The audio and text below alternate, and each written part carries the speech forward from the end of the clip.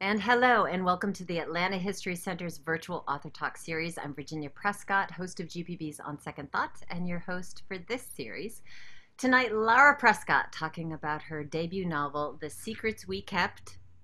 Yes. cover, which was an instant New York Times bestseller, a Reese Witherspoon book club pick, and it is now out in paperback. So you can purchase the book directly from A Cappella Books. There is a link. there is a link in the chat to the right of your screen, as well as a link on the Atlanta History Center's website. And as we were talking, please do submit your questions via the Q&A feature. That's at the bottom of your screen. I'm going to get to as many as I can, as many as time allows, and try and integrate them into the conversation. But please do put them in the Q&A rather than the chat, so I just have one place to look for them. And Lara Prescott, no relation, is here with us. Welcome. Thank you so much for joining us. Thanks so much for having me. It's great to be here.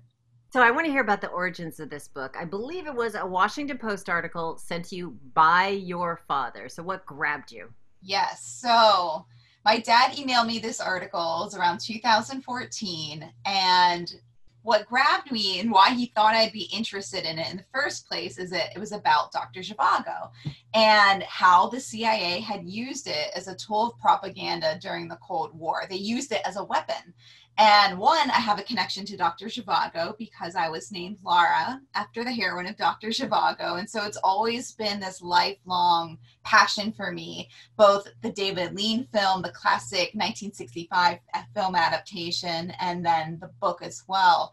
So had that going for it. So I definitely wanted to read about this article, but also I have this background working in Washington, D.C., working in political campaigns, and I'm fascinated um, with the way that words can be used to change the hearts and minds of people. And so the story about how the CIA thought a book could do something like that was absolutely fascinating to me. I had to research everything I could about it right then. And the CIA released about 100 documents and I went straight to the website and started downloading those those memos and reports and from there it just took off. So you found in those documents a lot of this stuff was typed up by these women, in the pool of typists. Their names were redacted in all of the stuff that was released by the CIA in 2014. But these were women who knew that they'd studied twice as hard as the boys to get these stellar degrees to type in the end, basically. And this is a really marked difference from the kind of roles that many, many of them, or some of them, had during the war. Like what? What was that shift like before and uh, or during and after the war? Sure. So during the war, um, people, women and men, both fought and, and served in the OSS, which was this precursor to the CIA. And women like Virginia Hall and Betty McIntosh served as intelligence officers along with Allen Dulles and Frank Wisner. And things that they did during the war are just absolutely heroic. And I can't believe this was not in any of the history books I learned growing up. But, you know, women like Virginia Hall, she, despite um, having lost her leg in a hunting accident when she was a little girl, she was leading French resistance fighters up to the front lines and she was smuggling people behind enemy lines and, and just fighting with the rest of them. And yet, when the war ended and the CIA starts up, um, many of these women were put behind a desk or in the records department or secretarial positions. And the same men who they served alongside became their bosses and the founders of the CIA. So there was a very big difference. And I really wanted to explore, you know, what happens to these women after serving their country in such a way and then kind of having to take a back seat. So they're all in this typing pool and they they go to this regular lunch spot where they share their biting assessments, I would say, of the predominantly Ivy League men, for the most part, running the CIA at that point. Many of them were chronic harassers or worse. Um, but I suspect those those scenes at Ralph's is the joint that they go to. I think you had a lot of fun writing those scenes, is my guess. I did, I did. I had a lot of fun imagining, you know, what these women who were always almost invisible presences um, in the meetings of these men talking about world politics and espionage and they knew so much about what was going on and what would they say you know behind closed doors when they were just together. Not only about the work that they were doing um, but you know the, the, dynamics. What what was it like to you know be put in this almost submissive position um, against these men? And you know having the thought of them walking down the street, going to lunch together, and having these like powwows about it was was really fun. I don't think that they would probably call themselves feminists by any means, but there was a sort of networking. There was a way that they protected each other and supplied each other with information about how to deal with it. How did you see that? Yeah, so when I was researching women and working at the early days of the CIA, many, yeah, they definitely wouldn't probably call themselves feminists, but at the same time, many of them knew that they could do so much more. And there was this thing called the Petticoat Panel that Allen Dulles commissioned in the 1950s to see if women were being underutilized and if they could be better utilized. And so they interviewed all these women, they interviewed all these men in the CIA, and a lot of the women said, you know, I am more qualified to, to be the, the boss of, of these men. And then the men would say, I could never work for a woman, a woman. And so there was this, this strange dynamic. And so even though they might not have you know had the the mind that they were fighting for women's rights at the same time they they felt bolstered when they worked as a group and could function as a louder voice together which was what i was playing with with the voice of the typist being the plural we Mm-hmm. Yes, the royal we. It's the secrets we kept. But there are a number of we's here. Actually, it's it's narrated by primarily, I think, five uh, uh, different narrators. Um, yes. Like and but it's also like the original Dr. Zhivago novel that it's narrated by different people, and there are also love stories here of people who are kept apart by the state in Soviet Russia and also in Eisenhower era U- uh, U.S. So, did you go into it knowing that you were going to do that kind of parallel of the novel in some way? I definitely had the idea to mirror the love story um, within my novel of the tragic love story of Dr. Zhivago. I knew that Boris Pasternak, who wrote Dr. Zhivago, was inspired by his own life um, and used himself and his his mistress Olga Ivinskaya as models for the characters of Yuri and Lara. And I wanted to delve into that real life relationship but I also wanted to mirror something that was going on in the west side of my my story, in the CIA side of the story, and have another tragic love story, a love story that can never be, that almost speaks to Dr. Zhivago itself. Um, about the multiple voices, that wasn't planned out until I, I kept exploring the voice of the we, which was the first voice that came to me. And I kept running into these walls of I need to show all these different perspectives so that people know how important this book was and how important this mission was. So that's when I started jumping to different perspectives to look at this one event in history. Yeah, let's talk a little bit about that. You set up the sense of the time. Uh, the women, one of their mantras in the typing pool is fast fingers keep secrets. And they do. They know a lot more about Cold War brinksmanship than certainly the New York Times is reporting back then. And the novel begins at a time when the U.S. is definitely down in this. The Hungarian uprising has recently happened, quashed brutally by the Soviets. The U.S. is lagging behind in the space race. So America really needs a win. And their secret mission is, is a weapon, which is actually a book. So why a book? What makes that book so powerful?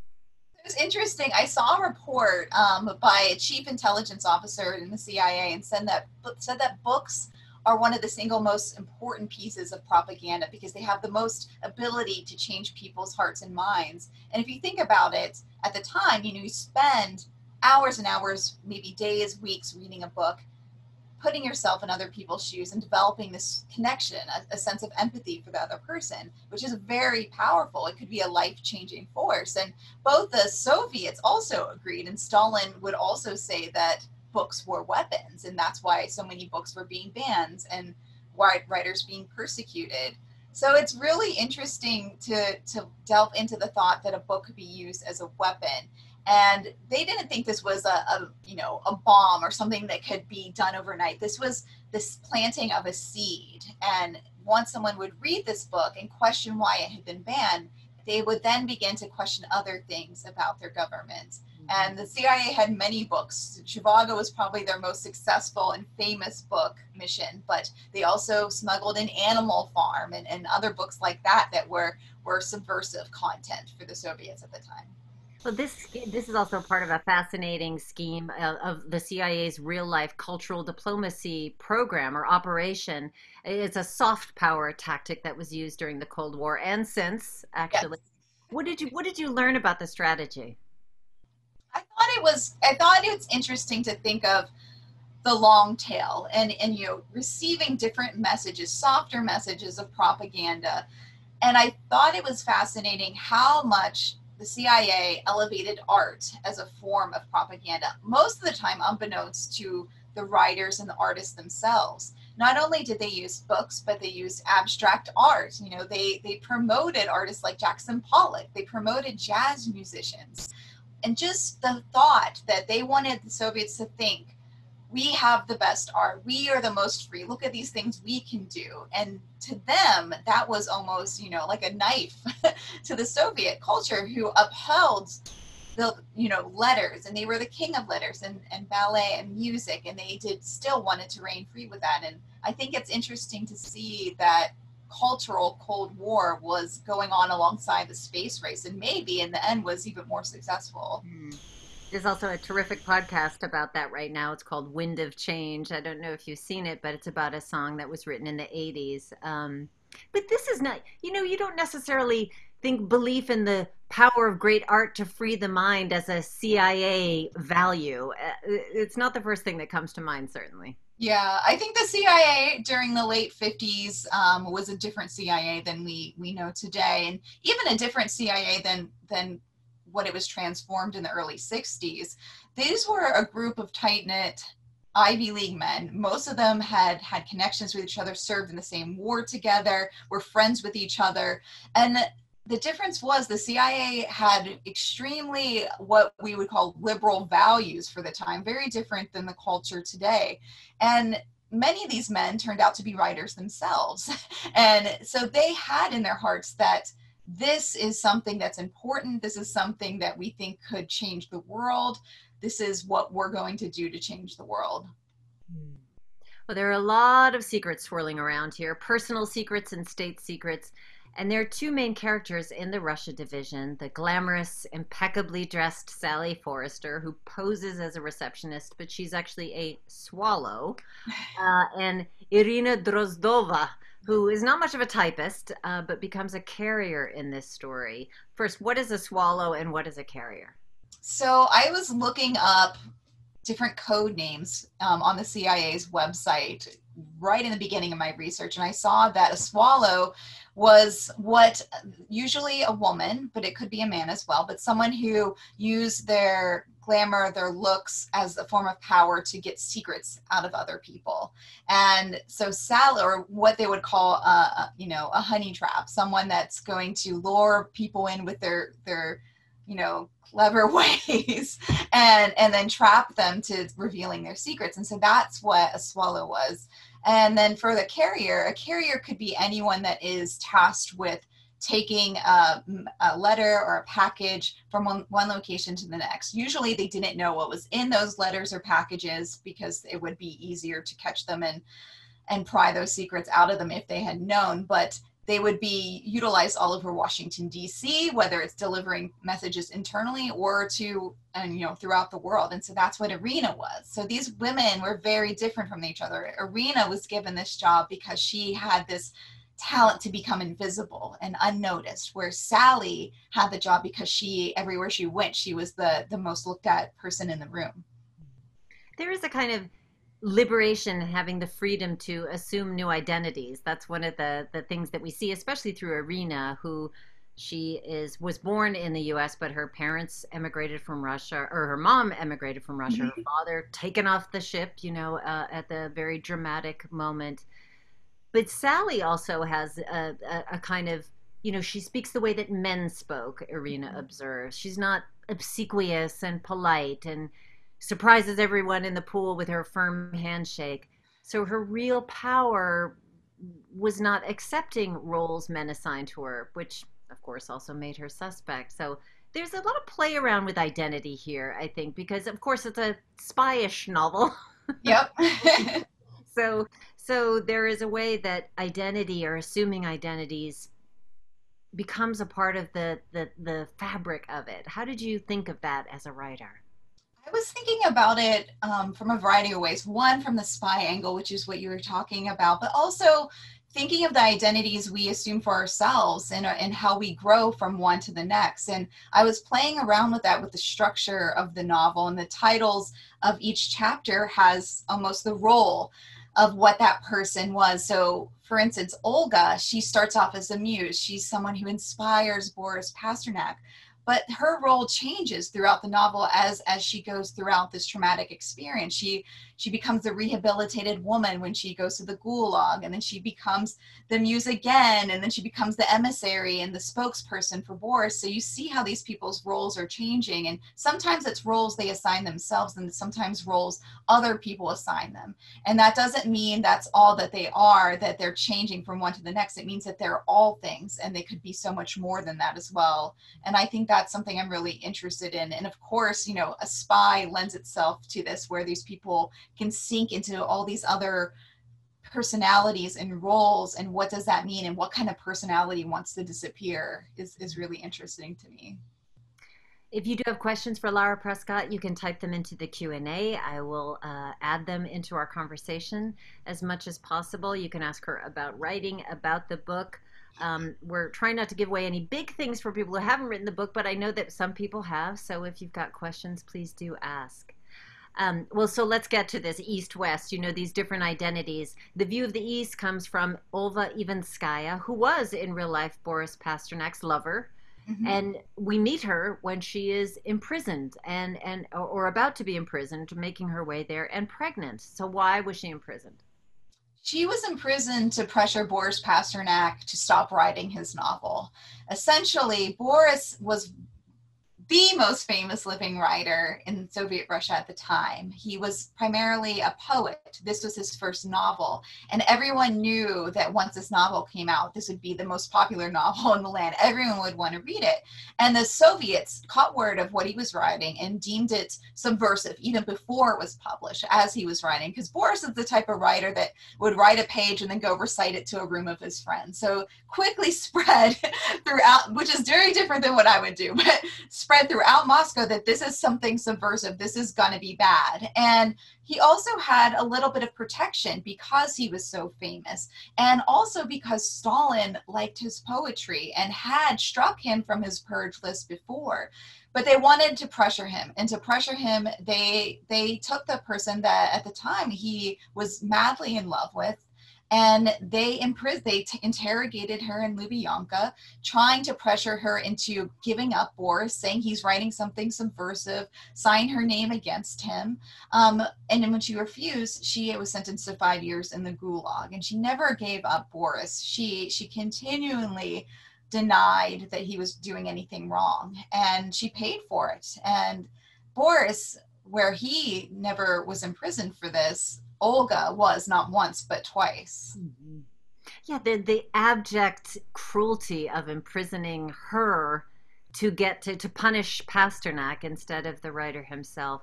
And this is all true. You know, Olga had written her own book about her life, uh, and others have written about the Dr. Zhivago affair, but not with all of the, the, the typists, the pool, and all of the other characters who are in there.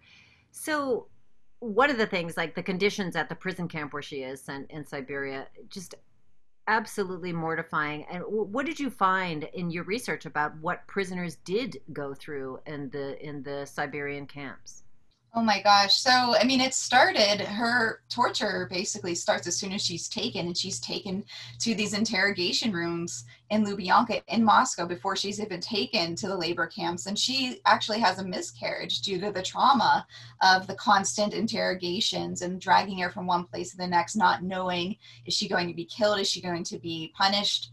Then, you know, she's taken about 500 miles away from everything she's known and loved and put into a, a labor camp where she's subjected to hard labor every single day and living in these barracks which are just cold in the winter and hot in the summer and smelly and uncleanly. And she has to just get by with whatever means she can do it. And one of the things she d- would do is just recite boris's poetry in her head while she was you know working in the fields and fortunately for her, she only had to serve three years of her sentence because Stalin dies in 1953. And as a result, many political prisoners were released from these camps, and she was one of them.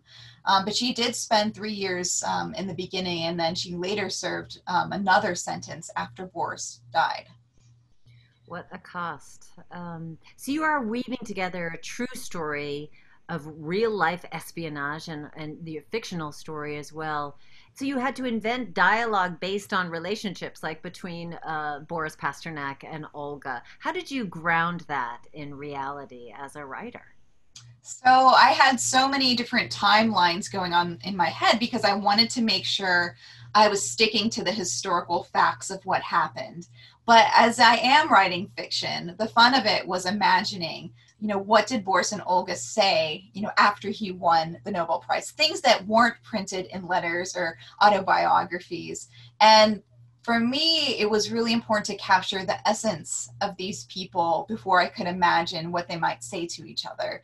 Um, whereas on the the Western side with my CIA officers who are all fiction, mostly fiction, I could just, you know, think of their personalities and invent dialogue. But I was always going back and weaving in quotes and things that they had said in history and that were noted in letters or their books that they've written about the circumstances, and then weaving in fiction with it and setting the scene, but making sure I hit those key points of history of, of what was happening. So the question here, Christy Mack, how close to reality was the typing pool and relationships depicted? A lesbian relationship, for example. I'm not going to ask the last part of that because it's a real spoiler. So. yeah, no, no big spoilers, but um, with the typing pool, I did a lot of research of what it was like to work in the early days of the CIA as a woman. And one of the things that I was uncovering is I wanted to know what else was going on in Washington, D.C. at the time. And I stumbled on the lavender scare, which isn't something I had ever heard of. I, I knew that people were always persecuted um, for for their sexuality um, since you know since forever in Washington, but I never heard of the term lavender scare, which came right after the Red Scare, which everyone knows about. We all learn about the Red Scare and you know seeking out communists within the government faction, but this was uh, actual um, process in the U.S. government, especially starting in the 50s, where thousands of people were fired for their sexuality and without cause um, or without any, you know, form of repercussions. And sometimes these people's names were printed in the newspaper, and many lives were destroyed as as as a fact um, of what happened after that. And so I I thought about what would it be like to be one of those thousands of people in the CIA, the State Department, and other branches of the government who were fired. And so I also was tying it to another tragic love story to mirror Dr. Zhivago, but this time it was between two women. And I thought, what would it be like to be these women in love and not knowing if they could ever, you know, be together? In the Lavender Scare, were there accounts of people who had been in these kind of relationships? Oh, absolutely. There's a tremendous, well, there's a book called The Lavender Scare, and there's also a documentary that was made after the book. And it's absolutely um, many different first person accounts of these people who suffered and who were interrogated by, by their own employers and fired and the, what they faced after that happened. So this was this was rampant abuse and somebody else asked, anonymous person asked, how were you able to evoke the ambiance of DC and Foggy Bottom in the late 50s so effectively? There was some really great websites that I stumbled on. Well, first of all, I, I read so many books. I watched so many documentaries, but there's a really great website about old DC, and it has links to all of these footages of what it was like to be on the streetcar and just going around Washington, Northwest DC, Georgetown, Foggy Bottom. What is what does it look like? And that website also documented like where would you go if you were going out for a fancy meal? Here's pictures of what it looked like, and it's just someone's passion project that they collected all of these archival photographs and and everything. And so I loved looking for those things, um, either online or talking to librarians or going through archival footage myself. It's absolutely essential, I think, if you're writing historical fiction to capture that time because it is different. You know, Washington D.C. in the 50s is different than New York City in the 50s, and to capture you know what the dress was like or what what the culture was like was really pleasurable for me, or what the fashion was like was really pleasurable for me. Yeah, the fashion comes across, I think, very well. And it's part of it. You know, it's a big part of the story, like people's identities, what they're presenting to the world, and also the party life. It was a really, really rich party life, sounds yes. among the early CIA. Yes, I so that the scene of Sally on the yacht in the beginning of novel where you first meet Sally, that was really inspired from this photograph I saw of uh, John F. Kennedy Jr. and a group of powerful men, some in the CIA, some in the State Department, partying on a yacht in the Potomac. And I, I was so fascinated by this party culture. When I spoke to a spy or early spy expert that I was introduced to, she said, Yes, so much business went on in these parties, on the yachts, in people's houses. That's where the real business took place. So, you know, you know they'd be 10 martinis in and they would be deciding what the next mission or you know what would be printed in the washington post it's absolutely ridiculous to think about it but it's it's very true but there is this furtive the plot follows this furtive handoffs in berlin brussels rome dc and there are these landmarks in dc that you use for the handoffs of uh, confessional at St. Patrick's, I think, and then the Bishop's Gardens at the Bishop's National. Garden. Yep. that, did, I, were those real? Did you so for the for the actual Zhivago notion, I do not. There is no record of where these handoffs occurred, but I did research of where typical handoffs were, and the Bishop's Garden was one of them. And the National Cathedral has this beautiful garden next to it, and that was a CIA handoff, as was Rock Creek Park, as was the Mayflower Hotel, which features in my novel. And the Mayflower um, is a famous spy site throughout the decades of the CIA and it was in the in the 50s and 60s a place where CI officers had practiced the art of the handoff. So they were training how to slip an envelope to someone else, which I have a scene in my novel depicting that very thing. But um, I will say some of these places I had, because I lived in DC for about 10 years, I knew myself, but I had no idea the secret history uh, behind them before I started studying up on what was it like to, to, to live in CIA Georgetown and, and see what these places were really like. Did you just say Dr. Zhivago? Did I? have I? Well, I was. I was just wondering. Like, have I been saying it wrong? No, I must have mumbled my words. Zhivago. I thought I should have asked you about pronouncing the most basic thing at the beginning of this conversation. The, but this is the book that Boris Pasternak is determined to get out to the public, and it's been well documented that when he handed it off to the, the manuscript to an Italian go-between, he said, "You are hereby invited to my execution." Yes.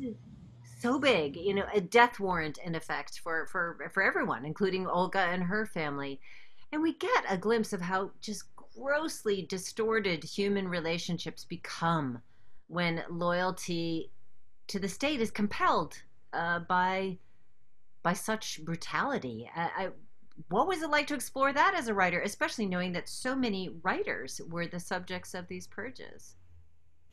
It was fascinating. I think I keep comparing it to today, and, and you know, living in the United States many people don't realize that some of this is still going on throughout the world. It's going on in countries like China and Saudi Arabia, where writers are still being imprisoned um, and not allowed to publish. But you know, during those times, this was a very common occurrence that Stalin would would censor censor its writers to such an extent that Boris Pasternak's many of his own peers never lived past the 1930s, and he was almost seen as a, a, lucky person that he got out of it. And I think there was a lot of guilt that he he felt for being a survivor, where many of his neighbors, his peers, um, were killed, sentenced to the labor camps, or never heard of again. And it's interesting to see that Boris, despite all of this, kept going and knew that this could be a death sentence, as he said when he handed off his manuscript. But he had the courage to say that, you know, so be it. I, this is why I write, and this is what's going to happen. And I think about that a lot of, you know, our how can I even identify with that? I would probably be like, no, like uh, me and my family are going somewhere else. It's fine. But you know, for him, this was a life or death issue to to get his words out into the world. It is an irony that 60 plus years later, Russia is now using social media to sow political division here in the US, planting the seeds, as uh, you spoke of earlier about the book. So, what is that like for you, who spent so much time on Cold War history to watch this strategy play out? I think I, when I started this novel, um, none of this was in the news. It was pre um, election. And when it started coming about, I couldn't even believe that this was still happening. I, I, I, of course assumed that you know there was the Cold War hadn't really ended, and, and lots of things were still going on behind the scenes. But to see it play out on Twitter and YouTube and Facebook, where a, a, news story could go viral within seconds, whereas you know before they would take a book and hope that people would read it, and years later maybe something their minds would be changed. But now you have a fake news story that everyone could believe within seconds and it's so powerful and so frightening that i it felt like almost to speak to how history has affected today and history always repeats itself is one of the reasons why i write historical fiction because i think examining the roots of something you can understand the present moment better. Um, but yeah, I certainly wouldn't have predicted that, and that it's still going on today. It's it's it's not just Russia, but other countries as well. I think I read somewhere that uh, there was some book pitch event that you went to, and and and a agent or publisher said nobody cares about Russia. that de- that definitely did happen. it was an agent, and so I went to an MFA program, and a few agents came by the MFA program recruiting, and she said no one's interested in Russia anymore. It's played out, and this was you know before um, you know every news story was about russia so i think for any writers out there you can never predict you know just keep writing what you're writing. You can't predict if it's going to be in the news or be out of play. It, it just takes years to write. You can't go with any trends or listen to anyone's bad advice. Just write what's in your heart. Well i wonder for you like doing this research about olga who inspired the character of Lara, who you were named for. I mean, I'm not trying to get all woo woo, but is there any way that you felt, you know, I'm fated to do this. This is this is this is my story to write.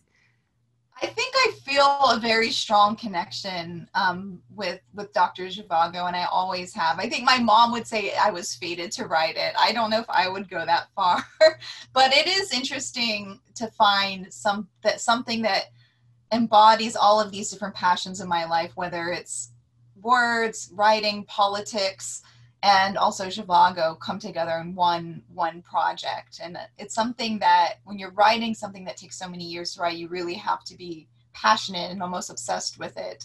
And I think it really, I really was. And it was hard to kind of put that away once you're finished writing it. Here's a question Were you inspired to use so many different narrators because of going into the writing program? Did they encourage you to play around with point of view? They, I wouldn't say they encourage it directly, but, and I'm trying to think of who gave me this amazing advice. One of my professors definitely said, you know, while you're doing revision, think about can this be written another way? Does it have to be in this perspective and why? you know why are you telling it from this way versus another and sometimes you can't really get into the story until you explore all these different angles and for me you know whether i was choosing first person or third person it was all a matter of trial and error until i found what i thought embodied the voice and so i thought that was really good advice and, and something I, I still do if i'm stuck i'm like well am i really coming at this from the right way should i be thinking of it from a different angle, a different perspective. And that always helps. Flo wants to know how much time did you spend researching the book versus writing? Wow, I think probably even, I would say half and half. I, I, did a lot of research before I even started writing. You know, as soon as I read this 2014 article, I began my research. And then it was almost a year later in 2015 that I started writing the novel. So I had this, you know, bulk of research behind me when I began the novel, and then the research just continued throughout the writing process. I would write into a hole and I'd think, okay, what I'm thinking that this character is going to, you know, want to go to Italy or going to be assigned to go to Italy, and then I'd have to do all this research about Milan and mm-hmm. and what it was like to to be at this fancy part publishing party, and so I would write myself into more research. But I think I always used research as almost a procrastination method when it got, and I had to set it aside at one point and say I don't really need to know, um, you know what type of shoelaces they were wearing. I think this is like overkill, but it's make it fuels you. Like even if it's it never gets in the novel, so much of the research doesn't end up in the novel. It just makes you more interested in it and you keep wanting to know more. And I think that fuels creativity for sure.